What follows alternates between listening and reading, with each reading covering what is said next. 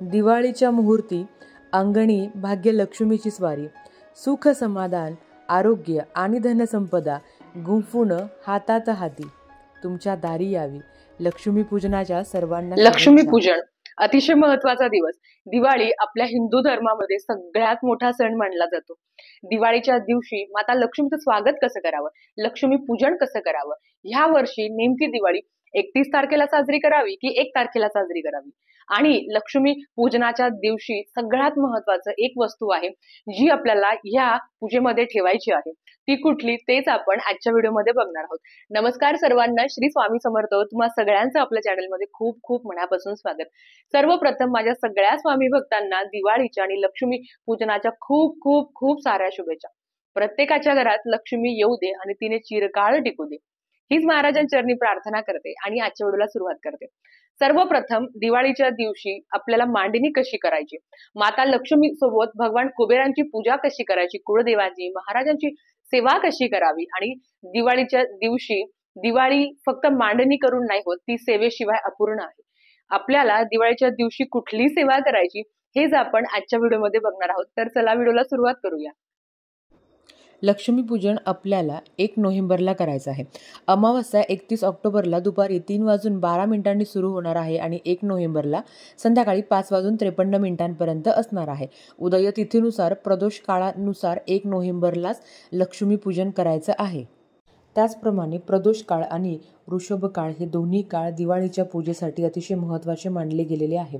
म्हणून आपल्याला लक्ष्मीपूजन हे सहा वाजून वीस मिनिटां ते आठ वाजून पंधरा मिनिटांपर्यंत करायचं आहे. शुभमुहूर्त हा सहा वाजून वीस मिनिटां मिनिट ते आठ वाजून पंधरा मिनिटांपर्यंत राहील. कुठल्याही सेवेची सुरुवात आपल्याला दीप प्रज्वलनाने करायची असते. मी इथे सुरुवातीला दिवा लावून घेतला आहे. तिकडे सुद्धा मी दिवा लावून घेतला आहे. आता सेवा सुरू करण्याच्या आधी आपल्याला आचमन करायचं असतं संकल्प करायचा असतो. सुरुवातीला आचमन करण्याच्या आधी आपल्याला आपल्याला देवीला स्मरून एक मंत्र म्हणायचा असतो. सर्व मंगल मांगल्ये शिव सर्वार्थ साधिके शरण्ये त्र्यंबके गौरी नारायणी नमोस्तुते. सुरुवातीला आचमन करताना आपल्याला भगवान विष्णूंचे सुरुवातीला तीन नावं घ्यायची आहे आणि चौथं नाव घेऊन पाणी सोडायचं असतं. सर्वप्रथम भगवान विष्णूंचं पहिलं नाव ओम केशवाय नमहा असं म्हणून हे पाणी ग्रहण करायचं. दुसऱ्यांदा ओम नारायणाय नमहा असं म्हणून पाणी ग्रहण करायचं. तिसऱ्यांदा ओम माधवाय महा आणि चौथ्यांदा ओम ओम गोविंदाय महा असं म्हणून पाणी सोडायचं. याला म्हणता आचमन करणं. आचमन करून झाल्यावर नंतर येतो तो आपल्याला संकल्प करायचा असतो. आता सगळ्यात आधी आचमन कोणी करायचं? जो व्यक्ती पूजा करणार आहे मग स्त्री असो किंवा पुरुष असो त्यांनी आचमन करायचं असतं. आता आपण संकल्प कसा करायचा ते बघूया. तर आता संकल्प करताना हातात थोड्याशा अक्षता घ्याव्या. पाणी घ्यावं. त्या पाण्यामध्ये हळद कुंकू टाकावी. आणि एक फूल घ्यावं. आता हे झाल्यावर आपल्याला संकल्प करायचा असतो. संकल्प कसा करावा?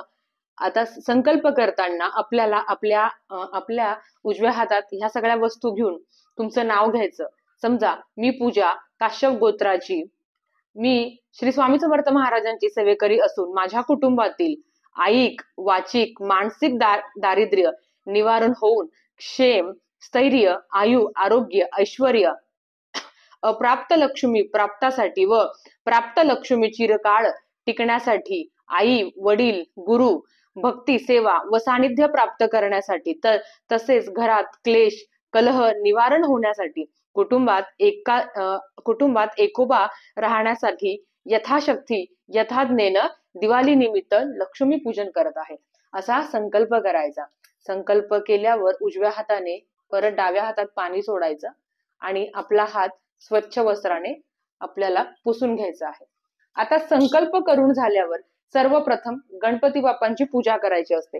आता मांडणी सगळ्यात महत्वाची आहे. बघा आपलं सगळ्यात आधी आपण आचमन केलं त्याच्यानंतर संकल्प केला. आपल्याला देवाच्या देवाच्या उजव्या बाजूने म्हणजेच आपल्या डाव्या बाजूने कलशाची स्थापना केली आहे. आता कलशाला देखील आपल्याला हळद कुंकू अक्षता अर्पण करून घ्यायचा आहे. आणि कलश देवताभ्यो नमहा हा मंत्र म्हणायचा आहे. किंवा ज्यांना काहीच नाही येत त्यांनी सर्व मंगल मांगल्ये शिवे सर्वार्थ साधिके शरण्ये त्र्यंबके गौरी नारायणी नमस्तुते. ह्या मंत्राचा मंत्र जाप करायचा आहे. आणि कलशाला आपल्याला फूल किंवा तुमच्याकडे गजरा असेल तर कलशाला गजरा अर्पण करायचा आहे. ही झाली कलशाची स्थापना. कलश स्थापना कसं करायचं ते पण तुम्हाला माहिती आहे पण थोडक्यात सांगते. सर्वप्रथम आपल्याला एक तांदळाची रास खाली काढून घ्यायची आहे त्याच्यावर हळदी कुंकू टाकलेले आहे. तुमच्याकडे तांब्याचा किंवा स्टीलचा तांब्या असेल तर तो घ्यायचा आहे. त्याच्यामध्ये पाणी टाकायचं आहे एक रुपया सुपारी सुपारी टाकायची आहे हळद कुंकू अक्षदा अर्पण करायची आहे त्या पाण्याला. नंतर फूल टाकायचं आहे त्याच्यावर पाच विड्याची पानं घ्यायची आहे. आणि वरती नारळ ज्याला आपण श्रीफळ म्हणतो त्याची पूजा करायची आहे. नारळ तिथे ठेवायचं आणि नंतर कलशाची पूजा करायची. आता कलशाच्या शेजारी सर्वप्रथम लक्ष्मीची मूर्ती असावी. बऱ्याच ठिकाणी असं असतं की लक्ष्मीची फक्त फोटो ठेवला जातो. तुमच्याकडे फोटो असेल तर फोटो ठेवा मूर्ती असेल तर तुम्ही मूर्ती ठेवू शकता.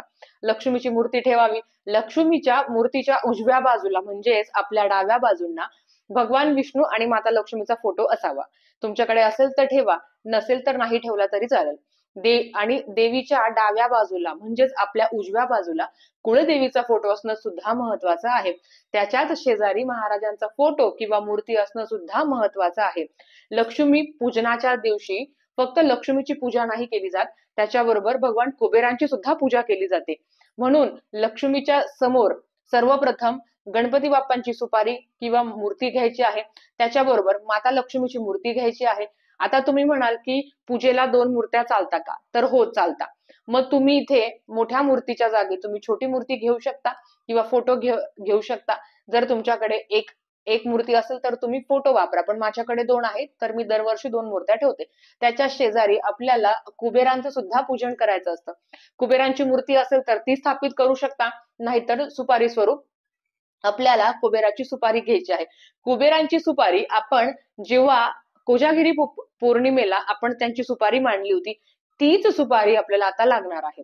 आता इथे माता लक्ष्मीच्या समोर जर श्रीयंत्र असेल तर आवर्जून त्याची स्थापना करा. आणि भगवान कुबेरांच्या मूर्ती सोबत किंवा मूर्ती नसेल सुपारी समोर जर तुमच्याकडे कुबेर यंत्र असेल तर त्याची सुद्धा स्थापना करू शकता.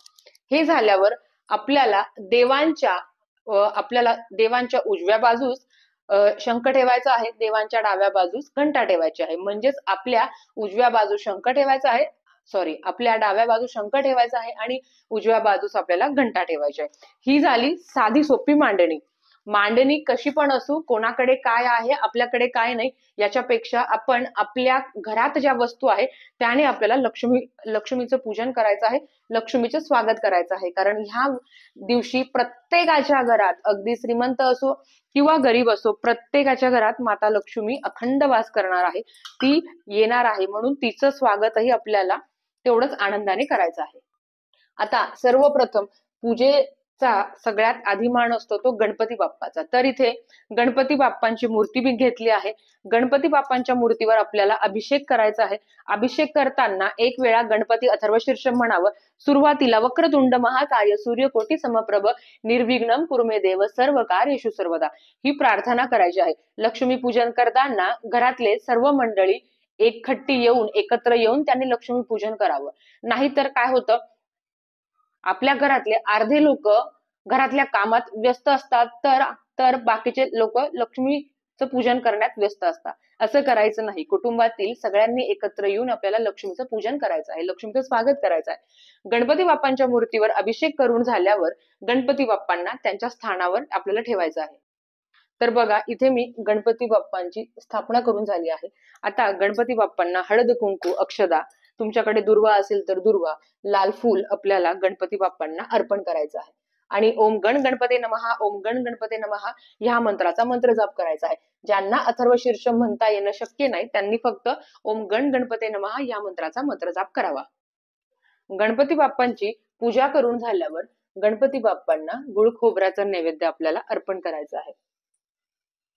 नैवेद्य अर्पण करताना गणपती बाप्पांच्या नैवेद्य अर्पण करताना आपल्याला तुळशीचा वापर करायचा नाही. ही झाली सर्वप्रथम गणपती बाप्पांची पूजा. गणपती बाप्पांची पूजा करून झाल्यावर आता आपल्याला माता लक्ष्मीची पूजा करायची आहे. सर्वप्रथम ज्यांच्या घरात मातीची मूर्ती आहे त्यांनी कसं करावं? आपल्याला लक्ष्मीच्या मूर्तीवर अभिषेक तर घालायचा असतो. ज्यांच्या घरात अशी मातीची मूर्ती आहे त्यांनी काय करावं ते सांगते. आपण फूल घ्यायचं आहे. फूल फूलमध्ये हे फूल थोडस पाण्यात डीप करायचं.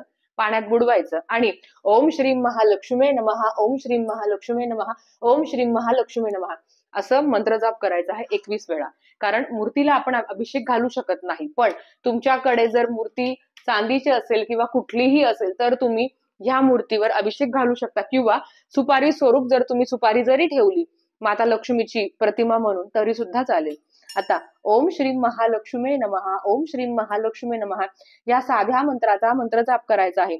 ज्यांना श्री सुक्तम पठन करणं शक्य असेल तर त्यांनी आवर्जून कमीत कमी एक वेळा तरी श्री सुक्तम पठन करावं. श्री सुक्तमचं पठन करून झाल्यावर फलश्रुती म्हणावी. फलश्रुती म्हणताना हात जोडावे. तर इथे मी माता लक्ष्मीच्या मूर्तीवर अभिषेक करत आहे. ही सगळी सेवा करताना शुद्ध मनाने शुद्ध अंतकरणाने करायचं. आणि मी खरंच माझ्या घरात माता लक्ष्मीने प्रवेश केला आहे आणि मी तिथं स्वागत करत आहे याच सद्भावनेने पूजा करायची असते. तर मी इथे माता लक्ष्मीची मूर्तीचा अभिषेक करून झाला आहे.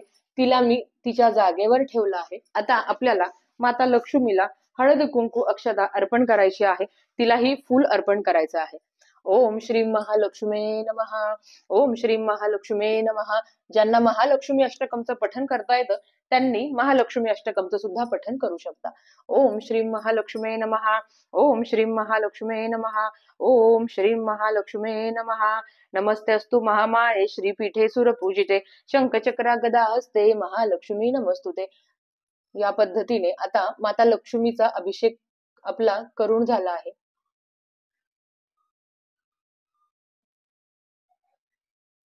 याच्यानंतर आपल्याला कुबेरांची मूर्ती जर तुमच्याकडे असेल तर आवर्जून मूर्तीवरच अभिषेक करा. नसेल तर सुपारी सुद्धा चालते. तर इथे मी सुपारी घेतलेली आहे. कुबेरांची मूर्ती देवघरात ठेवायची नाही. कुबेर यंत्र देवघरात चालतं. कुबेरांची मूर्ती देवघरात ठेवू नये. मग ती कुठे ठेवावी? तर ती तिजोरीत ठेवायची असते. आता कुबेर मंत्र तुम्हाला जो येतं तो म्हणू शकता. ओम श्रीम ओम रीम श्रीम रीम क्लीम श्रीम क्लीम श्रीम श्री वित्तेश्वराय नमहा ओम वैश्रवर्णाय स्वाहा। ओम श्रीम ओम रीम श्रीम रीम क्लीम श्रीम क्लीम श्रीम श्री वित्तेश्वराय नमः। ओम वैश्रवर्णाय स्वाहा। ओम श्रीम ओम रीम श्रीम रीम क्लीम श्रीम क्लीम श्रीम श्री वित्तेश्वराय नमः। तुम्हाला कुबेरांचा जो मंत्र येत असेल तो तुम्ही मंत्र जाप करू शकता. आता इथे सुपारीचा सुपारी स्वरूप कुबेरांची स्थापना करून झालेली आहे त्यांच्या मूर्तीवर. त्यांच्या त्यांच्या मूर्तीवर अभिषेक करून झाला आहे. आता मी ही कुबेरांची मूर्ती त्यांच्या जागेवर ठेवते. त्यांना देखील आपल्याला हळद कुंकू अर्पण करायची आहे. आणि त्यांची सुद्धा विधिवत पूजा करायची आहे. कुबेरांना पिवळं फूल आवडतं. तर पिवळं फूल किंवा घरात जे कुठलं फूल उपलब्ध असेल ते तुम्ही ठेवू शकता. माता लक्ष्मीची पूजा झाल्यावर तुम्हाला श्री यंत्रावर अभिषेक करणं शक्य असेल तर तुम्ही करू शकता. नाहीतर फक्त त्याची आपल्याला तुम्ही पूजा केली तरी चालेल. ओम श्री महालक्ष्मी नमहा ओम श्री महालक्ष्मी नमहा ओम श्री महालक्ष्मी नमहा या पद्धतीने. आता हे आपलं आपलं पूजन करून झाल्यावर आपल्याला कुळदेवीचा मूर्ती असेल टाक असेल तर तिथे त्यांच्या मूर्तीवर किंवा टाकावर आपल्याला श्री सुक्तमचं पठन करून अभिषेक करायचा असतो. तुमच्याकडे मूर्ती असेल तर तुम्ही मूर्तीवर किंवा टाकावर कुळदेवीची सुद्धा पूजा करायची असते. आपल्याला आपल्या गुरूंची सुद्धा पूजा करायची असते. फक्त कुबेर आणि लक्ष्मी यांची पूजा नाही. आपली कुळदेवी सुद्धा महत्वाची आहे जी कुळाचा उद्धार करत असते कुळाचं रक्षण करत असते. आणि महाराज आयुष्यात महाराजांशिवाय पर्याय नाही. गुरूंच्या सानिध्यात असलेली कुठलीही सेवा त्वरित फलदायी देते असं म्हटलं जातं. तर आता ही जी मूर्ती आहे ह्या मूर्तीला सुद्धा तुम्हाला हळद कुंकू अक्षदा अर्पण करायची आहे. आणि फूल असेल हार असेल तर ते देखील तुम्हाला अर्पण करायचं आहे. सर्वप्रथम तुमच्याकडे मातीची मूर्ती असेल तर तिच्यावर पण अभिषेक करताना आपल्याला ओम श्री महालक्ष्मी नमहा ह्या मंत्राचा मंत्र जाप करायचा आहे. आणि लक्ष्मीची सुद्धा हळद कुंकू अक्षदा लावून तिची आपल्याला पूजा करायची आहे. ओम श्री महालक्ष्मी नमहा ओम श्री महालक्ष्मी नमहा या मंत्राचा मंत्र जाप करायचा आहे. आता हे झाल्यावर भगवान विष्णू आणि माता लक्ष्मीची सुद्धा तुम्हाला पूजा करायची ओम महालक्ष्मीच्या विद्महे विष्णू पत्नीच्या धीमही तन्नो लक्ष्मी प्रचोदयात. भगवान विष्णूंना अष्टगंध लावून घेऊया. ओम नारायणाय विद्महे वासुदेवाय धीमही तन्नो विष्णू प्रचोदयात. घरात जी फुलं असेल ती आपल्याला यांना अर्पण करायची आहे. ओ महालक्ष्मीच्या विद्महे विष्णू पत्नी धीमहि तन्नो लक्ष्मी प्रचोदयात. आता आपल्याला कुळदेवीची सुद्धा पूजा करायची आहे. कुळदेवीची पूजा करताना आपल्याला मूर्ती असेल तर त्यांच्यावर अभिषेक करायचा असेल करायचा आहे. नसेल तर आपल्याला फक्त एक वेळा श्री सुक्तमचं पठण करायचं आहे. किंवा आपल्याला एकवीस वेळा नवारणो मंत्राचं पठण करायचं आहे. ओम ऐन व्रीं क्लीं चामुंडाय विचे ओम ऐन व्रीं क्लीं चामुंडाय विचे ओम ऐन व्रीं क्लीं चामुंडाय विचे ओम ऐन व्रीं क्लीं चामुंडाय विचे ओम ऐन व्रीं क्लीं चामुंडाय विचे ओम ऐन व्रीं क्लीं चामुंडाय विचे ओम ऐन व्रीं क्लीं चामुंडाय विचे आता महाराजांची सुद्धा आपल्याला पूजा करायची आहे. महाराजांची पूजा करताना एक वेळा श्री सुक्तमचं पठण करावं. नाही महाराजांची पूजा करताना एक वेळा श्री सुक्तम आणि एक वेळा पुरुष सुक्तमचं पठण करावं. पण जर तुम्हाला इतका वेळ नसेल तर हरकत नाही. तुम्ही फक्त श्री स्वामी समर्थ श्री स्वामी समर्थ श्री स्वामी समर्थ श्री स्वामी समर्थ श्री स्वामी समर्थ श्री स्वामी समर्थ श्री स्वामी समर्थ श्री स्वामी समर्थ श्री स्वामी समर्थ ह्या मंत्र जाप तुम्हाला करायचा आहे. आता आता लक्ष्मी पूजनाच्या दिवशी सगळ्यात महत्त्वाचा मान असतो त्या ह्या लक्ष्मीला जिला आपण शिरई म्हणत असतो. पण कमीत कमी लक्ष्मी पूजनाच्या दिवशी तरी तिला शिरई बोलू नका तिला लक्ष्मी बोला. आपल्याला ह्या लक्ष्मीची सुद्धा विधिवत पूजा करायची आहे. तिला हळद कुंकू अर्पण करायचं आहे अक्षता अर्पण करायच्या आहे. आणि ही सुद्धा माझी लक्ष्मी आहे. आज मी तिची पूजा करत आहे. ह्याच सद्भावनेने ह्या लक्ष्मीची सुद्धा तुम्हाला पूजा करायची आहे. तुमच्या घरात जी रोख रक्कम असेल त्याची सुद्धा तुम्हाला पूजा करायची असते. तर ही सुद्धा तुमची लक्ष्मी आहे. सोनं चांदी तुमच्या घरात जे असेल त्याची तुम्हाला पूजा करायची आहे. तर इथे सोनं चांदी जे काही असेल तुमच्या घरात त्याची तुम्हाला पूजा करायची आहे. त्याच्याबरोबर नाणी नाणी म्हणजे हे तर खरं आपली लक्ष्मी असते. तर याची सुद्धा घरात जेवढी ज्याला आपण चिल्लर म्हणतो तर त्याची सुद्धा तुम्हाला पूजा करायची आहे कारण ती खरी लक्ष्मी आहे. प्रत्येकाच्या घरात लक्ष्मी दिवाळीच्या दिवशी आपण ही वही आणतच असतो. आणि इथे शुभ लाभ काढायचा आहे स्वस्तिक काढायचं आहे आणि याची सुद्धा पूजा करायची आहे. जे लोक व्यापारी आहे व्यापाऱ्यांच्या तर इथे खूप मोठी पूजा केली जाते. माझ्या माहेरी सुद्धा खूप मोठी पूजा असते. म्हणजे हे संपूर्ण घर भरेल इतकी असते कारण आपण ह्या दिवशी आपण ज्या वस्तू वापरतो मग तुम्ही तुमच्या गाडींच्या चावीची पूजा करू शकता. तुमचं बँकेचं डेबिट क्रेडिट कार्ड असेल बँकेचं पासबुक असेल याची सुद्धा तुम्हाला या दिवशी पूजा करायची असते. ही सगळी पूजा करून झाल्यावर लक्ष्मी पूजनाला जसं शिराईचा मान असतो त्याच पद्धतीने मिठाचा सुद्धा मान असतो. आपल्याला लक्ष्मी आपल्याला दिवाळीच्या दिवशी आपल्याला धणे आणि मीठ याची पूजा करायची असते. काही ठिकाणी या बोळक्यांमध्ये किंवा या सुगडमध्ये फक्त लाया बत्ताशी ठेवत जातात आणि डायरेक्ट मिठाची पुडी ठेवली जाते. त्याची पूजा केली जाते. तुमच्याकडे जी पद्धत असेल ती तुम्ही करू शकता. पण या मातीच्या बोळक्यामध्ये त्या मिठाची सुद्धा पूजा करायची असते आणि या धण्याची सुद्धा पूजा करायची असते आणि ती सुद्धा तुम्ही ठेवू शकता. तर आता ही पूजा करताना मनात हीच सद्भावना असावी की मी माझ्या घरात असलेल्या धनधान्याची पूजा करत आहे. माझ्या घरात चिरकाळ लक्ष्मी टिकू दे. कधीही अन्नधान्याचा तुटवडा होऊ नये अशीच तुम्हाला प्रार्थना करायची आहे. आता हे झाल्यावर जो काही गोडाचा नैवेद्य जे काही फराळ आपण दिवाळीला करत असतो ते तुम्हाला करायचं आहे. तुम्ही पाच फळं सुद्धा ठेवू शकता किंवा एक फळ तुम्ही पाच प्रकारे सुद्धा ठेवू शकता. तर मी इथे पूजेसाठी फळं ठेवले होते. ते मी इथे ठेवून घेते आहे. आणि मिठाईचा बॉक्स गोडाचा नैवेद्य दाखवायचा असतो. म्हणून इथे मिठाईचा बॉक्स याची सुद्धा तुम्हाला याचा सुद्धा नैवेद्य दाखवायचा असतो. आणि मला तरी माहिती आहे महाराष्ट्रात प्रत्येकाच्या घरी दिवाळीच्या दिवशी गोडाधोडाचा नैवेद्य केलाच जातो पूर्णाचा नैवेद्य केला जातो जे काही फराळ केलं जातं ते सगळं आपण देवांना दाखवतो आणि त्याच्या दुसऱ्याच दिवशी ते फराळ ग्रहण करायचं असतं. तुमच्याकडे सुद्धा ही पद्धत आहे का मला सांगा. तर ह्या पद्धतीने आपली लक्ष्मी पूजनाची मांडणी करून झाली आहे. सगळ्यात आधी आपल्याला सेवा ही तेवढीच महत्वाची आहे. आरती झाल्यावर सेवा करायची असते. माता लक्ष्मीच्या समोर आपल्याला मोठा दिवा लावायचा आहे. तो शुद्ध गाईच्याच तुपाचा दिवा असावा. तो दिवा किंवा ती पणती इतकी मोठी असावी ती की ती रात्री बारा वाजेपर्यंत जळेल. या पद्धतीने. तर मी इथे सुद्धा हा तुपाचा दिवा लावून घेते. तुपाचा दिवा लावून झाल्यावर घरात पणत्या आहे भरपूर पणत्या तुम्हाला लावायच्या आहे इतक्या पणत्या लावायच्या की आपल्याला कुठलाही लाईटीचा प्रकाश सुद्धा त्या पणत्यांसमोर फिका पडेल. तर संपूर्ण पूजा करून झाल्यावर वेळ येते ती आरतीची. आरती कुठली करावी? सर्वप्रथम गणपती बाप्पाची आरती करावी. गणपती बाप्पाची आरती झाल्यावर आपल्याला महालक्ष्मीची आरती करायची आहे जी तुम्हाला कुठे पण उपलब्ध मिळेल युट्यूबला मिळून जाईल किंवा तुमची पाठही असेल. महालक्ष्मीची आरती करून झाल्यावर तुम्हाला आपल्या कुळदेवीची आरती करायची आहे. नंतर महाराजांची आरती करावी. आता बऱ्याच वेळा असं होतं की आपण आधी गणपती बाप्पांची आरती करतो नंतर महाराजांची करतो नंतर माता लक्ष्मीची करतो आणि नंतर कुळदेवीची करतो. तुम्ही ह्या क्रमाने सुद्धा देवींची आरती करू शकता.